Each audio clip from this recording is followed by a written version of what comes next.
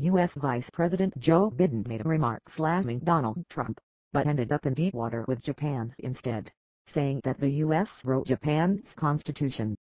His comment was slammed as arrogant, wrong and insensitive in Japan and beyond. Some said that Biden didn't check his facts properly, as he essentially refuted the historical fact that Article 9 was proposed by then Japan PM Shidehara and approved by General MacArthur.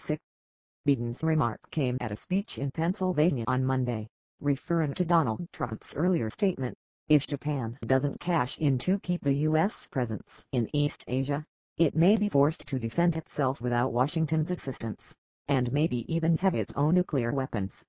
So Biden lashed out at those words, saying that he Trump talks cavalierly about encouraging other nations to develop nuclear weapons. Where was he when in school? Biden asked.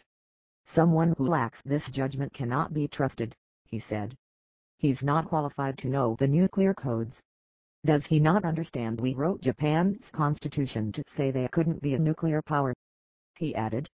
His words got enormous backlash from both Japanese and international media, with the majority of outlets saying that it's out of extraordinary for such a high U.S. official to put it quiet so straightforwardly.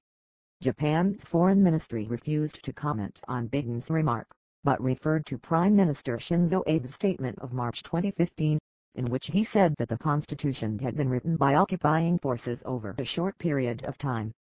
Japan's constitution was adopted in 1947, and was indeed compiled under the U.S. occupation that started after World War II. U.S. authorities made the first draft and edited it following consultations with Japanese officials. The document was then approved by the Diet, the Japanese parliament. However, the constitution doesn't mention nukes specifically. Article 9 urges the Japanese to forever renounce war and never have land, sea and air forces, as well as other war potential.